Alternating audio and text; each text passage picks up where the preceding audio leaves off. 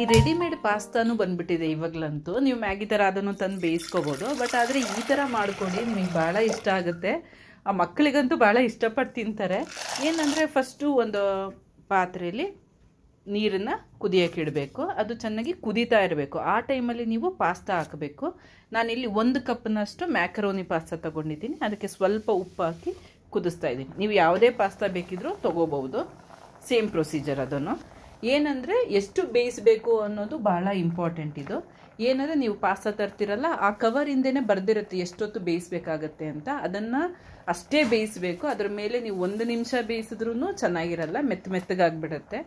So ಹಾಗಾಗಿ ನಾನಿಲ್ಲಿ ತಂದಿರೋದ್ರಲ್ಲಿ ಮೂರರಿಂದ ನಾಲ್ಕು ನಿಮಿಷ ಅಂತಿದೆ. ಸೊ ಹಾಗಾಗಿ ಈಗ ಆಲ್ರೆಡಿ ಮೂರು ನಿಮಿಷ ಆಗಿದೆ.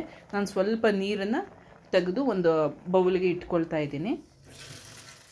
ಈಗ ನಾಲ್ಕು ನಿಮಿಷ ಆಗ್ತಾ ಇದೆ. ಸೊ ಹಾಗಾಗಿ ಅದನ್ನು ನೀರನ್ನೆಲ್ಲ ಸ್ಟ್ರೈನ್ ಮಾಡಿಬಿಟ್ಟೆ ಪಾಸ್ತಾ ರೆಡಿ ಇದೆ. ಈಗ ಬೆಂದಿರೋ ಅಂಥದ್ದು ಈಗ ನೆಕ್ಸ್ಟು ಒಂದು ಪ್ಯಾನಿಗೆ ಬಟರ್ ಹಾಕ್ತಾ ಇದ್ದೀನಿ. ನಾನಿಲ್ಲಿ ಅಮೂಲ್ದು ಬಟರ್ ತೊಗೊಂಡಿದ್ದೀನಿ. ನೀವು ಯಾವುದೇ ಬಟರ್ ಬೆಣ್ಣೆ ಬೇಕಿದ್ರೂ ಹಾಕ್ಕೋಬೋದು ಸಾಲ್ಟೆಡ್ಡಾ ಅನ್ಸಾಲ್ಟೆಡ್ಡಾ ಅಂತ ನೋಡ್ಕೊಳ್ಳಿ. ಯಾಕೆಂದರೆ ಉಪ್ಪನ್ನ ನೀವು ನೋಡಿ ಹಾಕ್ಕೋಬೇಕಾಗತ್ತೆ ಸಾಲ್ಟೆಡ್ ಆದರೆ ಆಲ್ಮೋಸ್ಟ್ ಅಲ್ಲಿ ಪಾಸ್ತಾ ಬೇಯಿಸೋಕೆ ಉಪ್ಪು ಹಾಕಿದರೆ ನಿಮಗೆ ಏನು ಬೇಕು ಅಂತಲೇ ಅನಿಸಲ್ಲ ಉಪ್ಪು.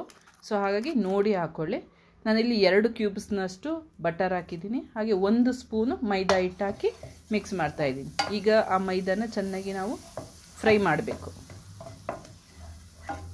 ಈ ಬಟರು ಚೆನ್ನಾಗಿ ಕರಗತ್ತಲ್ಲ ಕರಗಿ ಆ ಮೈದಲ್ಲಿ ಒಂಥರ ನೊರೆ ನೊರೆ ಥರ ಬರುತ್ತೆ.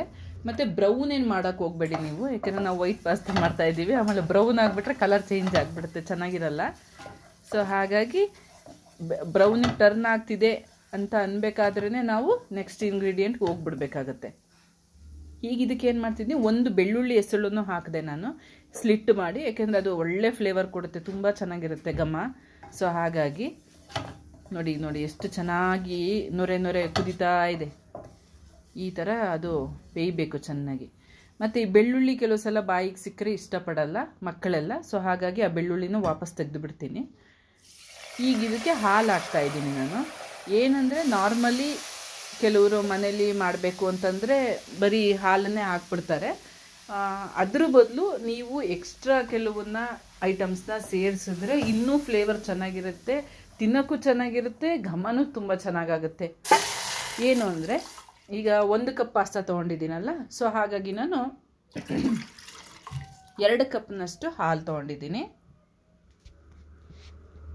ಆ ಎರಡು ಕಪ್ನಷ್ಟು ಹಾಲಿಗೆ ಒಂದು ಪುಟ್ಟದು ಚಿಕ್ಕದಾಗಿ ಒಂದು ಅರ್ಧ ಪಲಾವ್ ಎಲೆ, ಒಂದು ಪೀಸು, ಅಂದರೆ ಚಿಕ್ಕದು ಒಂದು ಈರುಳ್ಳಿ ಅಂದರೆ ಒಂದು ಪೀಸ್ ಈರುಳ್ಳಿ, ಒಂದು ಹಸಿಮೆಣಸಿನ್ಕಾಯಿನ ಒಣಗಿಸಿರೋದು ಒಂದು, ಎರಡು ಮೆಣಸು, ಕಾಳು ಮೆಣಸು, ಒಂದು ಲವಂಗ.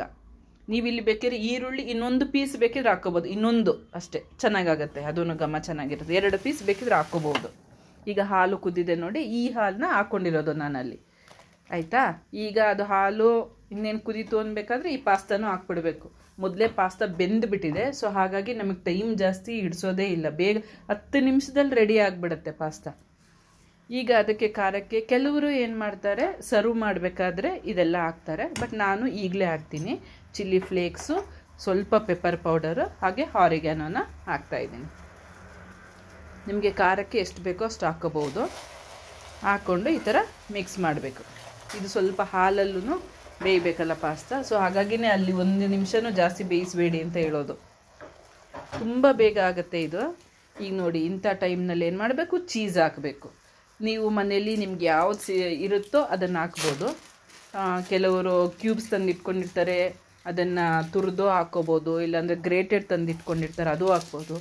ಈ ಥರ ಸ್ಲೈಸಸ್ ತಂದಿದ್ರೆ ಒಂದು ಸ್ಲೈಸ್ ಹಾಕ್ಬೋದು ಒಂದು ಕಪ್ಪಿಗೆ ಒಂದು ಸ್ಲೈಸು ಚೀಸ್ ಹಾಕಿ ಮಿಕ್ಸ್ ಮಾಡ್ತಾಯಿದ್ದೀನಿ ಈಗ ಅದು ಕರಗಿ ಎಲ್ಲ ಹಾಲು ಮತ್ತು ಈ ಚೀಸು ಬಟರ್ ಎಲ್ಲ ಮಿಕ್ಸ್ ಆಗ್ತಾ ಇದೆ ನೋಡಿ. ಪಾಸ್ತಾಗೆ ಚೆನ್ನಾಗಿ ಮಿಕ್ಸ್ ಆಗ್ತಾ ಇದೆ. ಈಗ ನೀವು ನೋಡಿದ್ರೆ ಈಗ ಕರೆಕ್ಟಾಗಿದೆ ಕನ್ಸಿಸ್ಟೆನ್ಸಿ ಬಟ್ ಏನಂದರೆ ಇದು ಗ್ಯಾಸ್ ಆಫ್ ಮಾಡಿ ನಾವು ಸರ್ವ್ ಮಾಡೋ, ತಿನ್ನೋ ಅಷ್ಟರಲ್ಲಿ ಗಟ್ಟಿ ಆಗಿಬಿಡುತ್ತೆ. ಸೊ ಹಾಗಾಗಿ ಇಲ್ಲೊಂದು ಸ್ವಲ್ಪ ನೀರು ಹಾಕ್ತಾ ಇದ್ದೀನಿ. ನಾನು ತೆಗೆದಿಟ್ಕೊಂಡಿದ್ನಲ್ಲ, ಆ ನೀರು ಹಾಕ್ತಾ ಇದ್ದೀನಿ. ನೀವು ಅದನ್ನು ನೋಡ್ಕೋಬೇಕು. ತುಂಬ ಗಟ್ಟಿ ಆಗಿಬಿಟ್ರು ಚೆನ್ನಾಗಿರಲ್ಲ ಇದು.